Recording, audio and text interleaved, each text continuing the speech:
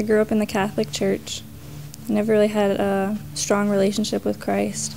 Kind of felt empty, like I was missing something. I came in contact with uh, a friend who was going through some hardship in her life, and she had so much peace towards the situation because she knew that God was going to take care of her, no matter what happened.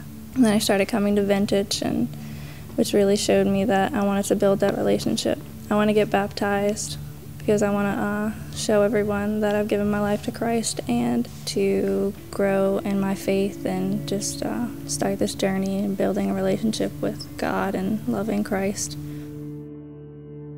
My name is Ashley, and I've been changed.